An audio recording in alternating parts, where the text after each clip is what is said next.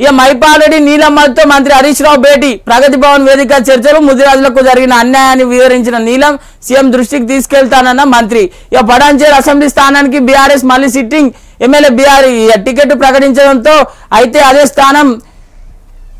ఆ party BC నేత నీలమ్మధు ముదిరాజు గుట్ట టికెట్ ఆశించిండు. తన పేరు జాబితాలో లేకపోవడంతో రిబల్ అభ్యర్థిగా పోటీ చేసే దిశగా సమాలోచనలు జరిపారు. ముదిరాజ్ కమ్యూనిటీకి చెందిన రాష్ట్రంలో ఒక స్థానం కూడా ఇవ్వకపోవడంతో రాష్ట్ర వ్యాప్తంగా ఆందోళన మొదలైనాయి.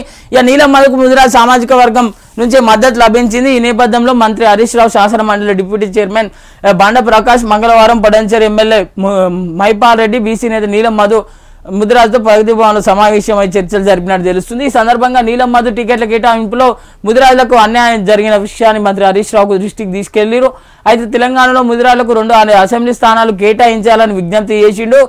ఇక ముదిరాజు సామాజిక వర్గాన్ని బీసీ డి నుంచి బీసీ ఏలోకి మార్చాలని కోరిండు. అదే విధంగా ముదిరాజు కౌ- కార్పొరేషన్ ఏర్పాటు చేయాలని చెప్పి మంత్రి దృష్టికి తీసుకెళ్ళినట్టు తెలుస్తూ ఉన్నది. వీటికి సానుకూలంగా స్పందించిన మంత్రి హరీష్ రావును మంత్రి హరీష్ రావు సీఎం కేసీఆర్తో మాట్లాడి చర్చించి నిర్ణయం తీసుకుంటామని చెప్పారు. ఇక నిన్న మొన్నటి దాకా పంచాయతీ నడిచింది. ఏంది?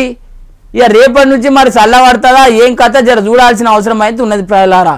ఇక మైపాల్ రెడ్డి నీలం మధుకి పడంచేరు నియోజకవర్గంలో వీళ్ళకు టికెట్ నీలం మధుకు వస్తుంది అని చెప్పి ఈసారి చాలా మందికి చాలా ప్రచారం జరిగింది. ఇక ప్రచారానికి మన కేసీఆర్ సార్ ఎప్పుడు పడాన్చేర్ల బహిరంగ సభ పెట్టినప్పుడే దానికి పులి స్టాప్ పెట్టే ప్రయత్నం చేసిండు. ఇక మొన్న టికెట్లు ప్రకటించడంతో అది ఇక మొత్తం కథ ఓడిచిపోయింది ఇక నీలమ్మదికి టికెట్ రాకపోయేసరికి నీలమ్మదు ఏం చేస్తున్నాడు?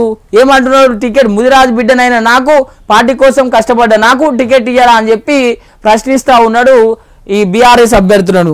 ఇక ఇదేదో కథ మాకు ఎసరొచ్చేటట్టే ఉన్నది బీఆర్ఎస్ పార్టీకి. ఇక ఏదో ఒక